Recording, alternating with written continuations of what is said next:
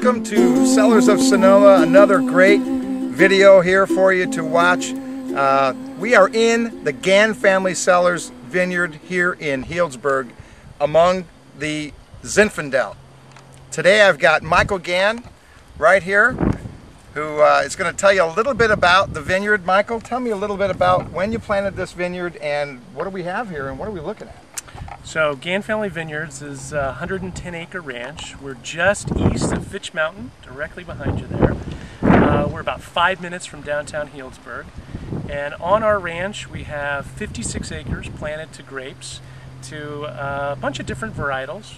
Uh, this particular block that we're standing in right now is some Zinfandel. And it's actually at the highest point on our whole ranch with just amazing views. Mount St. Helena over my left shoulder, Geyser Peak over my right shoulder, Fitch Mountain right behind you there, and uh, just some amazing fruit here.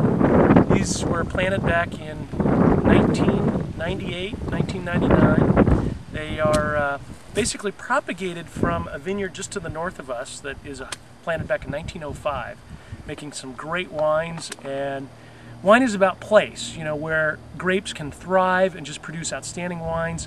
They've been making great wines since 1905, and we wanted to take some of that plant stock and basically replicate it on this particular parcel that's about two and a half acres.